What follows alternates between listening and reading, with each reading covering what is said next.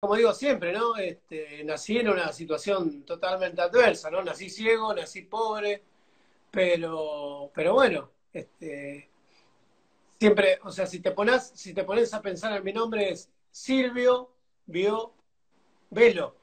o sea, nombre y apellido que hace alusión a la vista y sin embargo no ve nada, ¿no?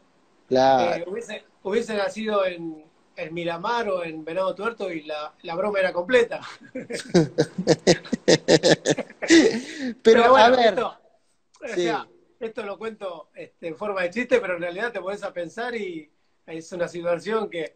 Y, y sí, o sea, vengo, eh, cuando éramos chicos, somos tres hermanos, imagínate, vivíamos en un rancho de barro, vivíamos sin, sin luz eléctrica, sin, sin agua corriente, teníamos que ir a buscar agua a veces a las casas de los vecinos. Pero bueno, la verdad que más allá de todo, este, éramos felices, ¿no? Éramos, vivíamos con nuestros padres, este, por más que faltaba un montón de cosas materiales. Yo siempre digo, ¿no? Que, que mi casa tenía dos habitaciones. Tenía la habitación de mis padres y la nuestra. Eh, imagínate, un montón, un montón de changuitos metidos en una pieza.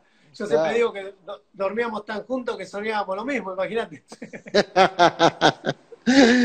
que ahora, Silvio, nos levantamos para descansar.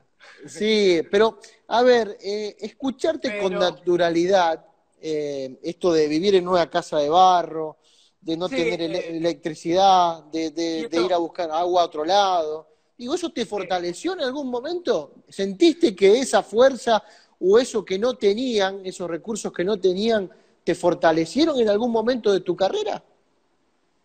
Sí, o sea, siguiendo con, con, el, con el concepto, digamos, esto lo cuento más que nada, no para, para, dar lástima, ni mucho menos. No, no, está, para claro. Que se vea, para que se vea el grado de, superación que tiene que tener uno. Tampoco, o sea, creo que era, era ir para adelante o ir para adelante, o sea, mucha, mucha alternativa no había, entonces, obviamente elegí ir para adelante.